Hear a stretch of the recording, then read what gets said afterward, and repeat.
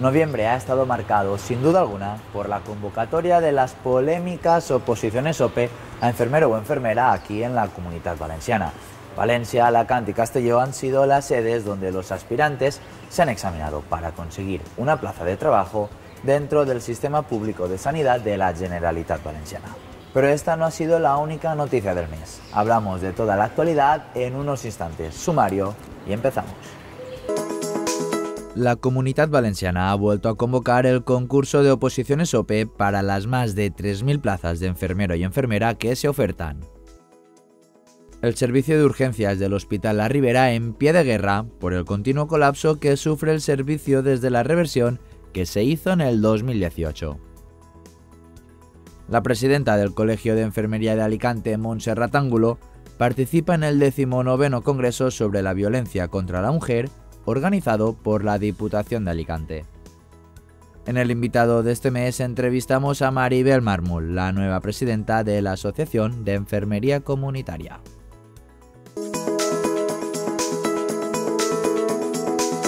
Y no podíamos empezar el informativo con otra noticia que no sea la convocatoria de los exámenes OPE. Exámenes que han dado mucho que hablar. Lo vemos. Por fin, tras varios años de retraso por la pandemia, se celebraron las oposiciones OPE en la comunidad valenciana. Después de muchos meses conciliando la vida laboral, familiar y de estudio, más de 24.000 enfermeras se presentaban a la prueba para las casi 4.000 plazas ofertadas. Trabajo y estudio a la vez, evidentemente, como todo el mundo, casi todo que nos, presentamos hoy. Sí que me presenté la anterior de auxiliar de enfermería, de TCAE, y nada, pues esperando a ver lo que nos sale en el examen y lo que nos ponen. Como de costumbre, los sindicatos ayudaban a las nerviosas aspirantes en el acceso a las aulas. Acompañarlos, o sea, resolverles las últimas dudas que puedan tener, eh, indicarles dónde les tocan las clases, porque siempre hay alguien que viene muy tensionado y muy despistado, y apoyarles, es apoyo simplemente. Nada fuera de lo normal en una jornada como esta. Con mucho nervio, con mucho nervio y con muchas esperanzas, porque hoy se juega más gente mucho. Pero los nervios pronto se convirtieron en indignación generalizada cuando los examinadores repartieron las preguntas.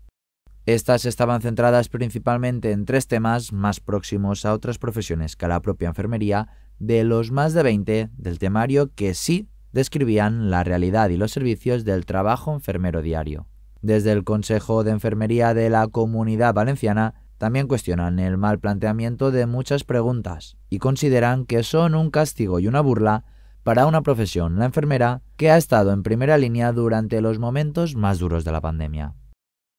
Los colegios de Valencia y Alicante han anunciado que están recabando toda la información precisa para analizar lo sucedido y actuar en consecuencia en defensa de los y las colegiadas. Además, la asesoría jurídica de ambos colegios ya está al tanto de la situación y se encuentra a disposición de las profesionales que la precisen.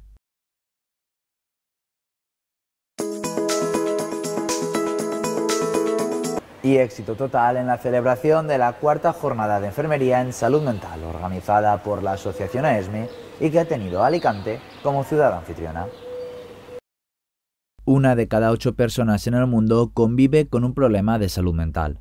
En el caso de los adolescentes, la situación es cada vez más preocupante. Más del 13% padecen algún tipo de trastorno.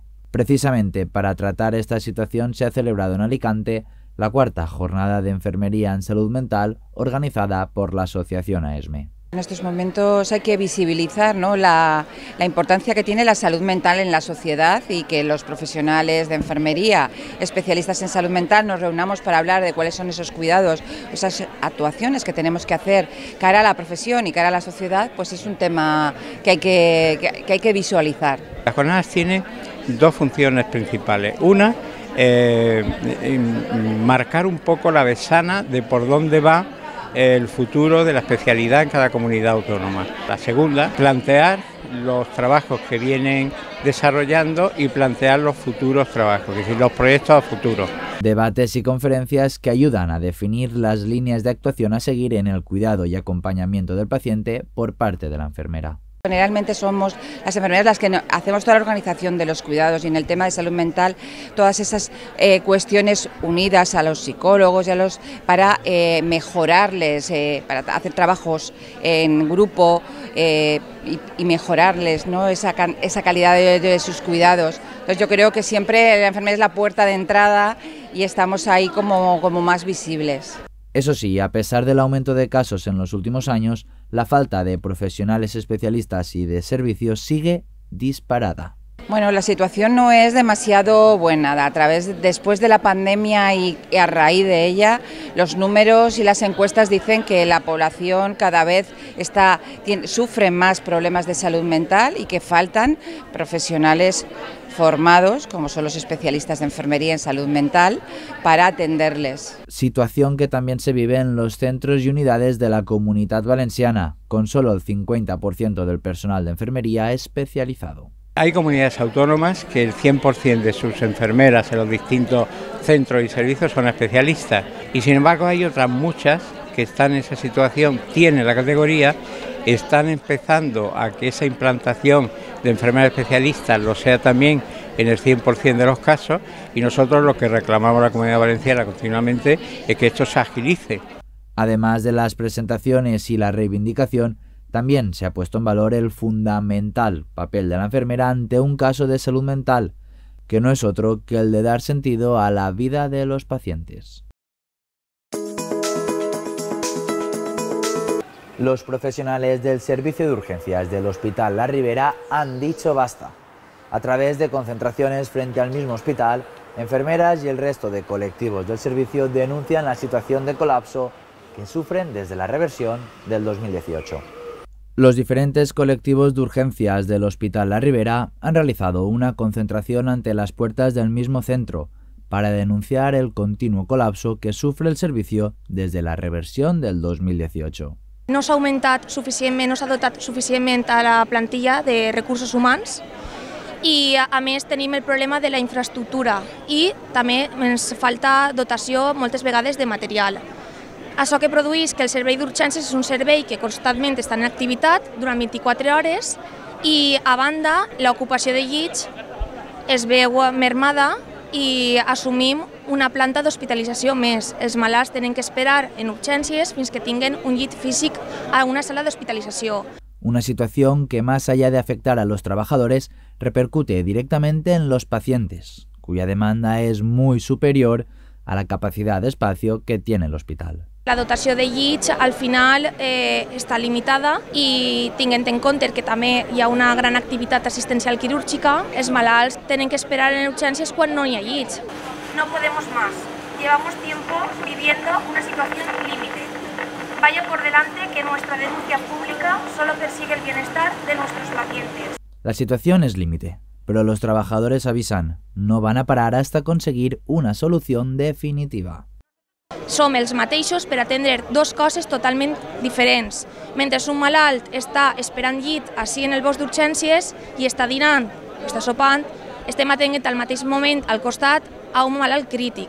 I creguem que no és la manera adequada de poder atendre als usuaris, que és en definitiva el, el més important de tot, a banda de reivindicar les nostres condicions laborals. No anem a parar de reivindicar que volem atendre el millor possible donant el 100% no, el 200% de nosaltres que ja el donem, però en uns recursos que, que, que, es, mereix, que es mereixen els usuaris i els, uh, i els professionals que treballem així.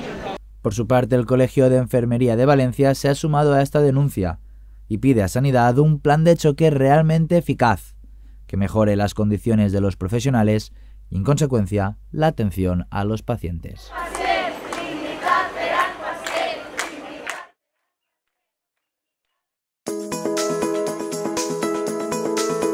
Y en Cecoba Televisión estamos de enhorabuena por la recuperación de la sección del invitado.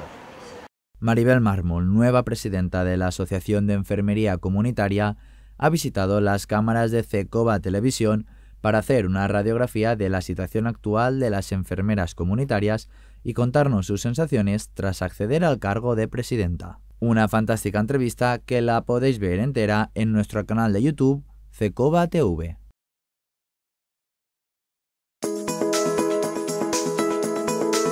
Seguimos ahora con la celebración del Día Mundial de la Diabetes. El Colegio de Enfermería de Alicante ha aprovechado este día para pedir que se retome la educación terapéutica en diabetes para las enfermeras a los niveles de antes de la pandemia. La formación y la educación diabetológica son dos herramientas clave para que las personas que sufren diabetes puedan evitar o al menos reducir las complicaciones derivadas de esta patología.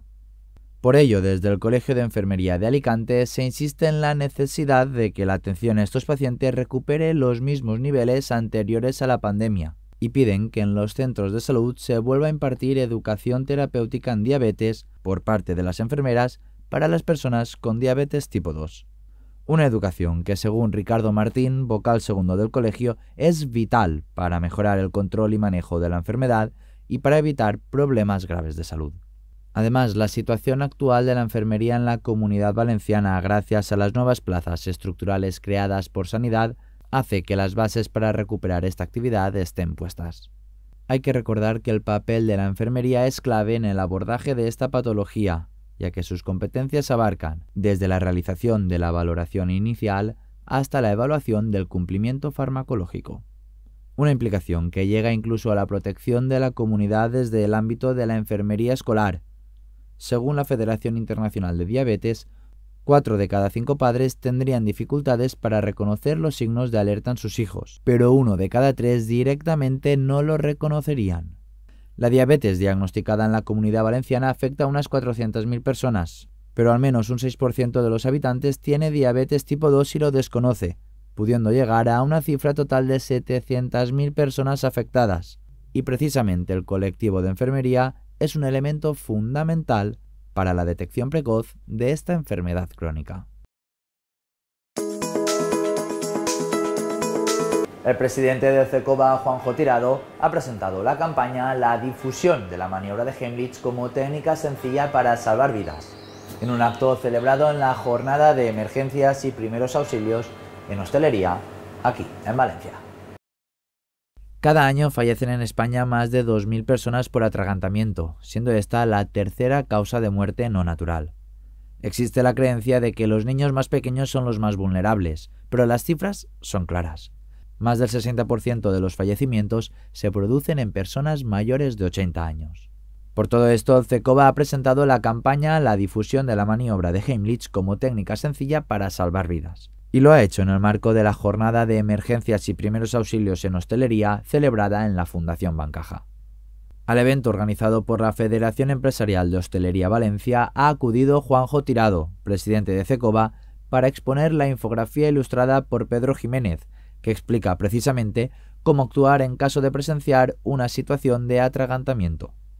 Durante su intervención, Tirado ha hecho una radiografía de las estadísticas de casos de atragantamiento, destacando el alto porcentaje de fallecimientos en personas mayores de 65 años, que se achaca principalmente a la disfagia, es decir, a la dificultad para tragar que aparece como síntoma de muchas enfermedades.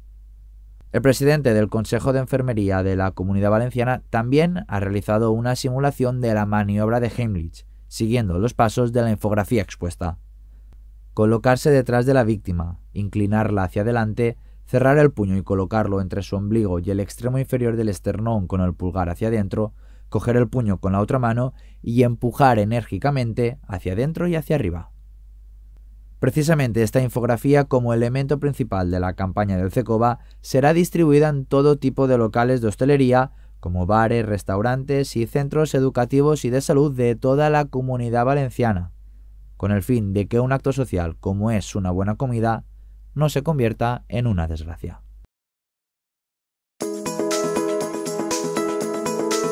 Y de nuevo, Juanjo Tirado ha estado presente en la presentación del máster universitario en urgencias, emergencias y críticos en enfermería de la Universidad Europea de Valencia.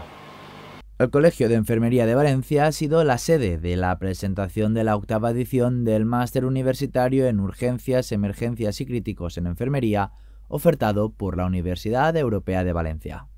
Es un máster que es relevante ahora mismo en el mundo de la enfermería los que han salido son privilegiados porque ya no van a ser solo los conocimientos y las competencias, sino que nuestro modelo académico se basa en la simulación, pues van a poder trabajar con simulaciones reales en un entorno totalmente profesional al que se le suman aparte las prácticas.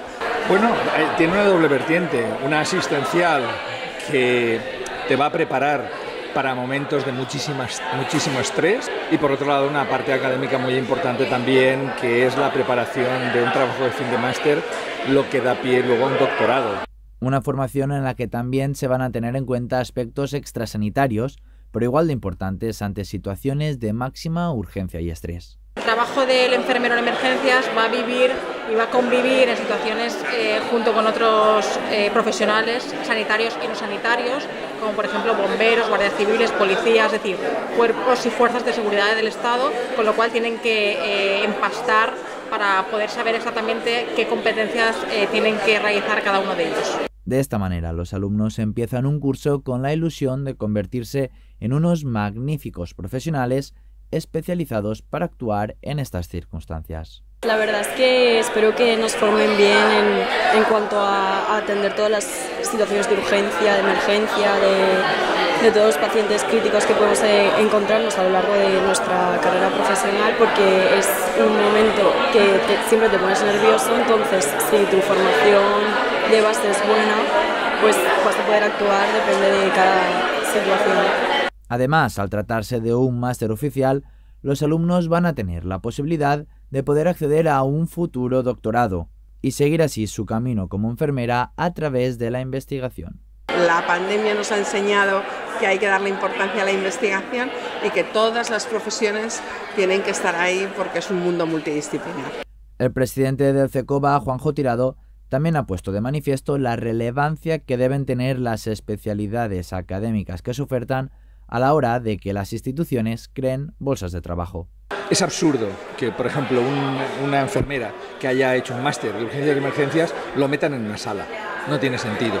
Se tendría que conseguir que hubieran unas especialidades que fueran adscritas a los puestos de trabajo y que tuviéramos especialidades también en críticos, tuviéramos especialidades en lo que la enfermería demanda.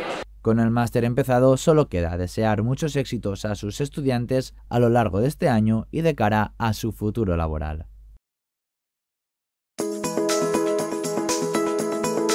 Y por último, el 25 de noviembre se reivindicó un año más el Día Internacional de la Eliminación de la Violencia contra la Mujer. Bajo este contexto se celebró el Congreso sobre la Violencia contra la Mujer, que tuvo representación del Colegio de Enfermería de Alicante con la participación de la presidenta Montserrat Angulo. Lo vemos. La enfermería es uno de los colectivos que forma parte del sistema de actuación ante un caso de violencia física o sexual.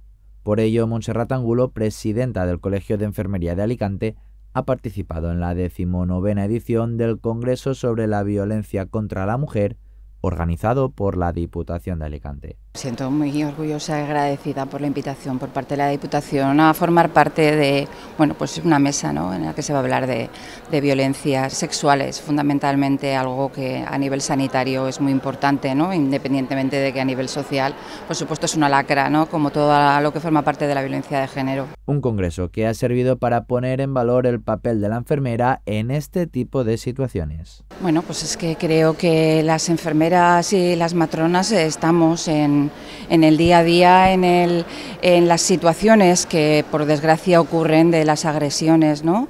y de la violencia. Somos eh, el personal que en, muchas ocasiones eh, nos encargamos de detectar o de acompañar a la mujer en todo este proceso.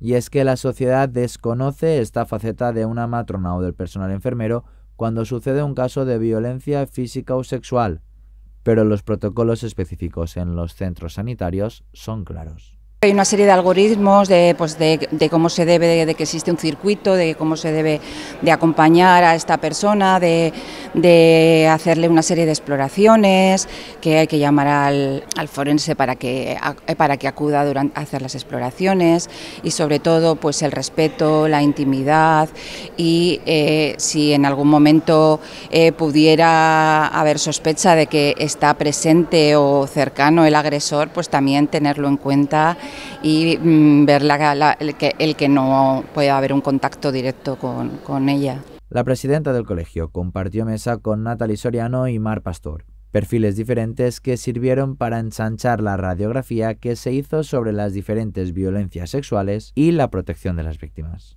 Yo el mensaje que daría es que cuando una mujer sufre una situación de violencia eh, sexual o de violencia por el hecho de ser mujer de cualquier forma, creo que el sistema judicial está a la altura de darle una respuesta y debe hacerlo, porque creo que se va a sentir protegida por el sistema judicial.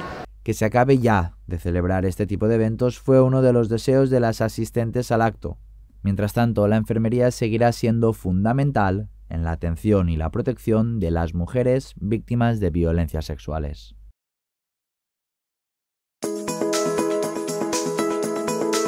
Llegamos ahora sí al final del informativo del mes de noviembre. Nos vemos muy pronto para contar toda la actualidad de la enfermería de la Comunidad Valenciana aquí en Cercova Televisión. Hasta entonces, que pasen un muy buen mes.